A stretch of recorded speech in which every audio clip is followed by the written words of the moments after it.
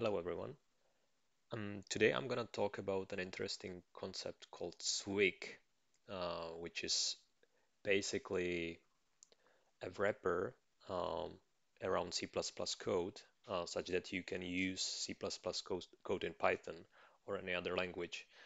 Um, in this example that I'm gonna show later, um, I will be making uh, bindings for Python. So um, uh, it works a little bit different. It might work a little bit differently for other languages, but uh, it might not be that different. Um, uh, right. So what's Swig? As I said, uh, it's basically uh, a layer between uh, C++ and any other language. In this case, it's between C++ and Python. And why would we actually need something like this? Well, Python is very uh, versatile language, but it's not particularly fast. On the other hand, C++ uh, is very fast, but it is a bit, uh, uh, it might be a bit harder to use. Uh, so why why don't we just simply combine the better of both worlds? Uh, and that's what actually Swig is the what Swig is doing. So it will basically uh, it will basically take uh, C++ C++ code and it will make it Py file uh, that that we can use and uh, uh, work with it just as if it were like a normal Python code. So so that's that's what Swig is doing. Um, how to actually first install Swig? Well, because I'm using the Anaconda ecosystem uh, for Python, I will show you how it's done with with uh, Anaconda. Um, I don't know exactly how to do it with other uh, other Python installations, but uh, I think uh, most of you guys use Anaconda anyway, so let's just follow this tutorial. Um, so first of all, I've already installed uh, Swig for for Python. Uh, so normally you would do conda install Swig, and that's gonna install the Swig uh, uh, package uh, for Python. Uh, I can show you that I have it installed. Beware Swig, um, and it's just telling me that it's installed somewhere in the Anaconda directory. Um, right, so let's assume that we have installed uh, Swig, and uh, now I think we are getting to the bottom to, of, of, of the problem. We will be uh, talking about what do we actually need to to build the uh, the Python uh, module uh, from the C++ inputs. So to get there, uh, we need to talk about interface file. Uh, we need to actually create the C++ file, C++ files, and then we need some setup uh, file that is basically a Python file that's gonna do all the all the work. So let's start with uh, you know creating some C++ code. I will explain this interface file and the setup file a bit later. So let's start with C++ code. I'm now in a directory where is there is pretty much nothing there. Um, so let's uh, let's create a simple uh, C++ uh, function.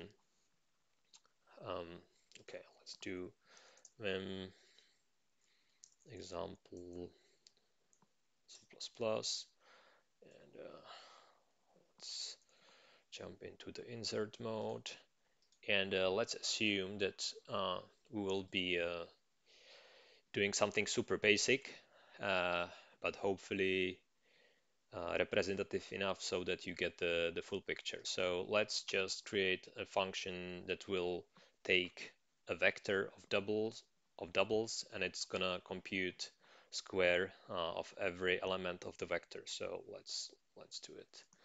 Vector double. Let's call the function, for example, square, and it's gonna take uh, um, vector of double uh, like and uh, then it's going to just simply iterate through the vector uh, so let's do a for loop here. For equal to zero. Sorry.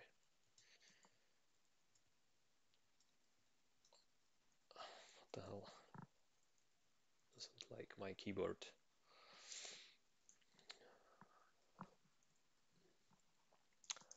I is uh, smaller than like the size. I plus plus. And then vector i is equal to vector i times vector i. So super basic code. And uh, after we get the, squares of each element then we just uh, return this vector that's it. Um, yeah to to use the vector uh, we need to import also the uh, or include the uh, uh, the vector elements from the standard template library. I will do it in the header file. So let's just refer here to the header. So include header dot or maybe let's call it example dot h. That's it. All right, that's it. Let me save this. And then let's create the, the header file. Um, example.h. So uh, what's gonna be here? Uh, so first of all, let's do the the header guards. So if def example h define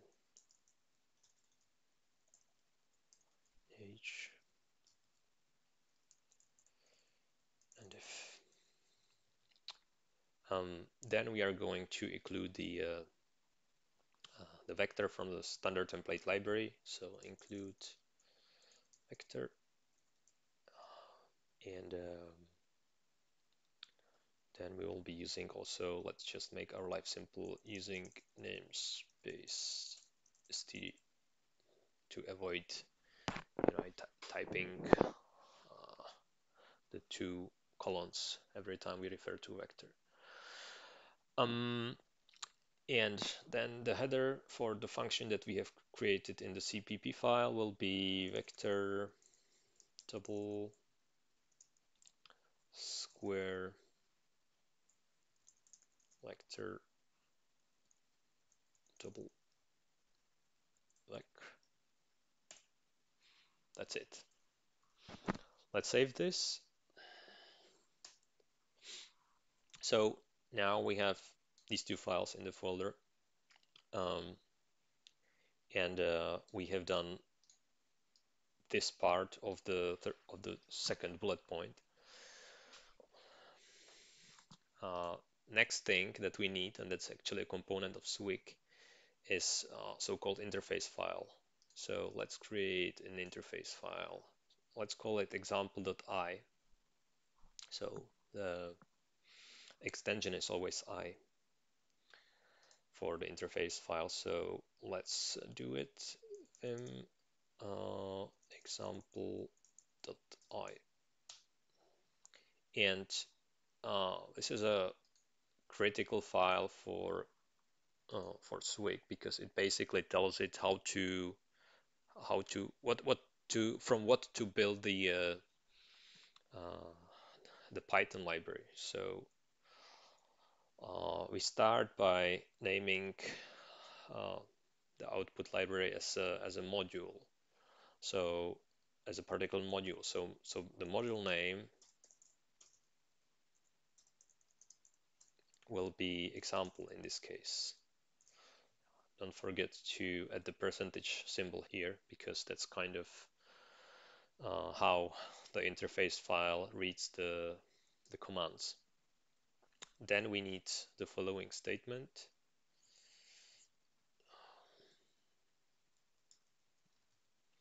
Uh, we need to define what we include. So we will include um, example.h. Then we have to include std vector i. As you can see, this has something to do with the uh, standard template library and, and the vector uh, vector class from there. So this is actually a must. Otherwise, uh, it tells Swig how to how to read vectors uh, in in in the C++ code. So this is a very critical uh, piece of this uh, uh, example file. Then we will be using the namespace std. So let's just use using namespace std. And um, what we also need to include uh, is basically template for for the vector. So um, let me just write the line first and then I will explain double vector vector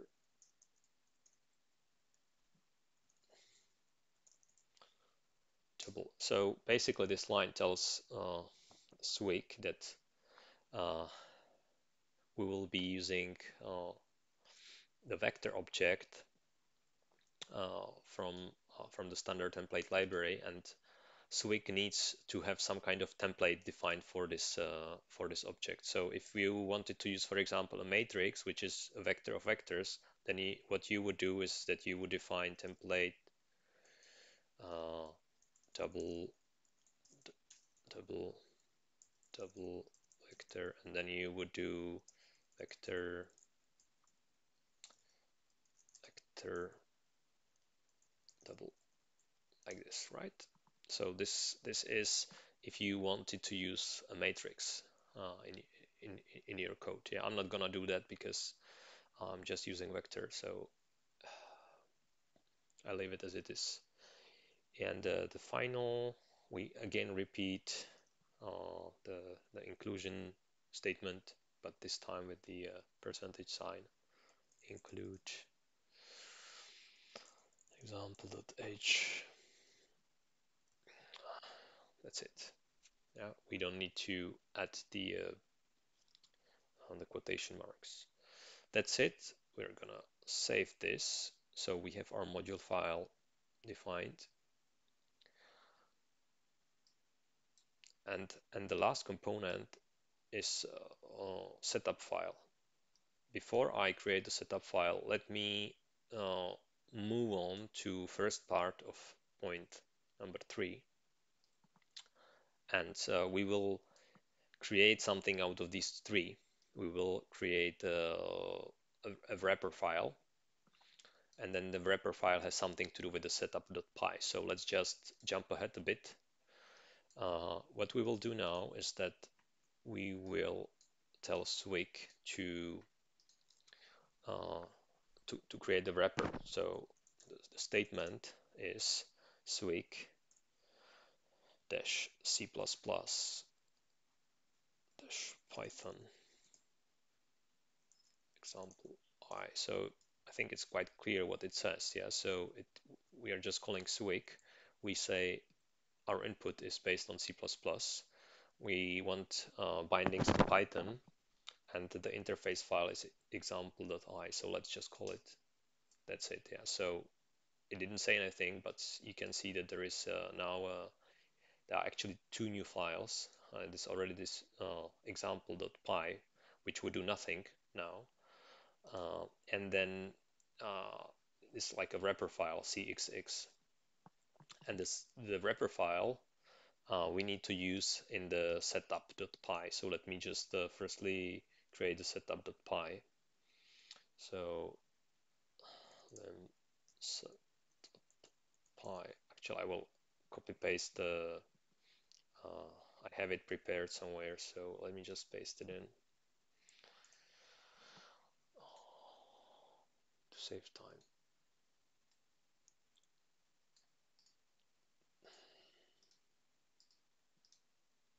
Right, there we go. So uh, what's critical, of course, are these imports. Uh, uh, then you have to be very careful, careful about this line because this line says that the, the library itself, the Python library itself, will be based on these two source files. So if you have multiple um, C++ files, they, they all have to be listed here and uh, the CXX counts as one of them. So that's the wrapper file. So you need to make sure that everything uh, that is like a C++ related to the compiled library is included. You skip the header file though, because the header file is uh, defined in the interface file. Um, and then the rest is pretty much standard. Uh, you can change those things, uh, but I'm, I'm, not gonna do that. So let's just leave it as it is and let's uh, save it. All right, so now we have basically completed this line and uh, uh, yeah, we have done part of the point number three. And the second part of point number three is uh, to uh, basically generate the library for Python. So uh, we need to call Python setup.py build ext dash dash in place.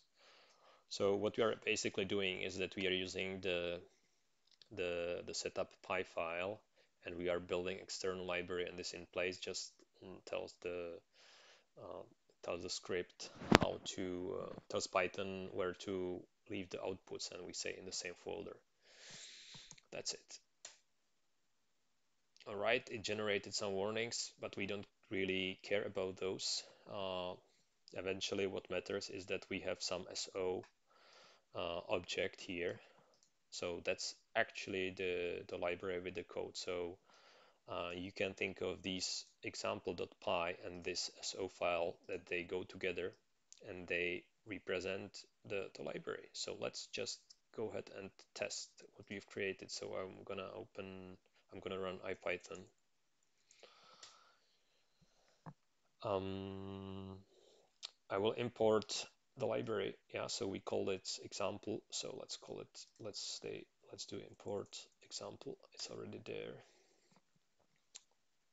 We can see what's inside of example and we can see the uh, the square function is there so uh, example dot square and we can get the square of two um, a vector of two values there we go so you can see that you can actually uh, use uh, the vector class from C++ and uh, you can use it uh, in a way that that allows you to interact with Python lists or Python tuples. So if you pass in Python tuple, it's also gonna work.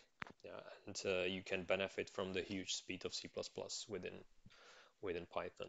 So yeah, mm, that's gonna do it. Um, I hope you enjoy this tutorial and uh, have a lot of fun with uh, with uh, with Swig.